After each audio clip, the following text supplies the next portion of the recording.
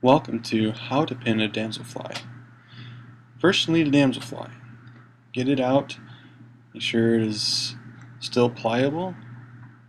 Then you'll need to get it picked up so it's pinned. Oftentimes the wings are stuck together and there's a nifty little trick that you can do by pinching it between your forefinger and your thumb and taking forceps, squeezing the ends together, sticking it in between the wings and then letting them open up so you can push those wings down so you can get in between them.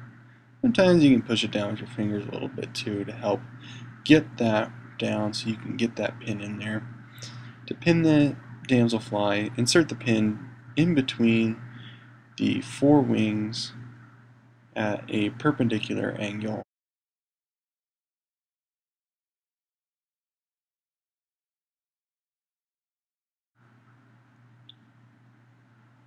Sometimes the wings will bend during pinning. When the specimen is fresh, there's nothing to worry about. Take your pinning block and insert the pin at the correct height.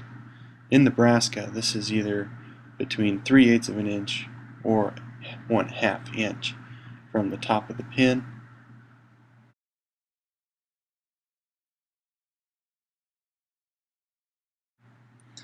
Take your pinned damselfly and put it into a block of styrofoam so that the bottom of the body is flush against the styrofoam.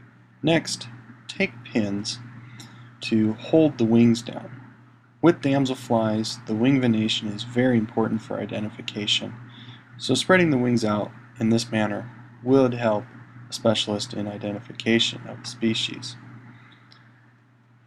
Care should also be taken to keep the abdomen down.